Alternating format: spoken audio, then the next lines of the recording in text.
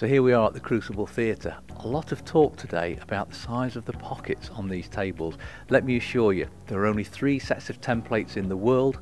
We're here in the arena to just show you how small they really are. So with us right now, we've got Chris Barnes from World Snooker Services. So just to make this official, we have the templates with us and we're going to take a look. Chris, show us what you do. Right, with the templates we always start off with the middle pockets.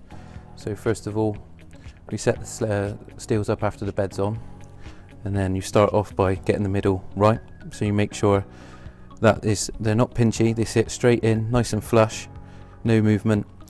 The rubber stays equal all the way along and once you get that right you then move on to the full template which governs which way the steels can go.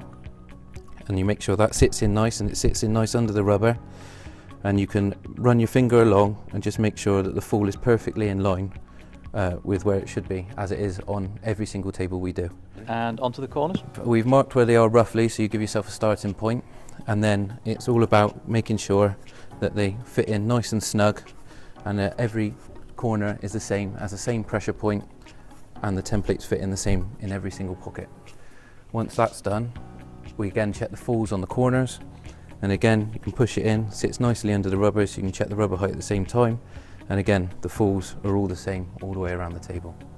Yeah and just just for clarity there chris the fall of the slate is absolutely critical for these tables. Uh, for most of those at home uh, when the ball comes towards the corner of the pocket the fall of the slate the cut off of where the slate ends and where the pocket begins is much further into the table.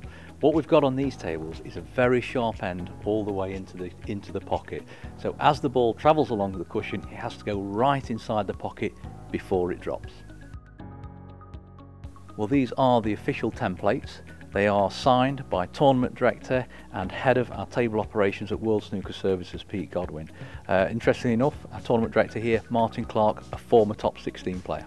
One other thing to remember on the championship table is that inside the cushion is made from a steel block. So the steel is bolted directly to the slate. Chris, tell me the effects of that, what it actually does on these tables. Well, it just gives you a lot more consistent bounce to what you get in the in, in a club where it's, it's, it's, made of wood and it absorbs more, whereas a steel is a completely separate entity to the outside. This, is, this has no effect on what is going on with the cushion. So, and it's got uh, six bolts equally apart and you, they're all uh, torqued up to exactly the same torque, every bolt, and it's just a, about giving a consistent bounce across the whole table. And just to, just to make that, um, just for clarity, yeah. um, what that does, if the ball goes towards the pocket and it's not exactly in the pocket, it bounces and throws the ball out and this is something that's very different to many club tables. Yeah, yeah definitely. Um, also, with many steel blocks and championship tables, there is no undercut on the rubber. And uh, in a club, you will find on many tables, from about here, the, there is actually a cut up into the rubber and then along. And what that does is the ball entry point is hit a, a lot higher on the ball and it will force the ball down into the pocket. Whereas on these tables, there is no cut at all. The profile of the rubber follows all the way around. So more than likely the ball will hit and it will just rattle and come back out. And that is a main difference. The viewer from home will always see a television view from here, from behind the pocket.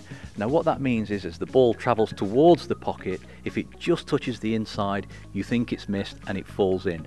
What you're actually, what the player is actually seeing is a view from here. Take a look at how difficult these shots really are.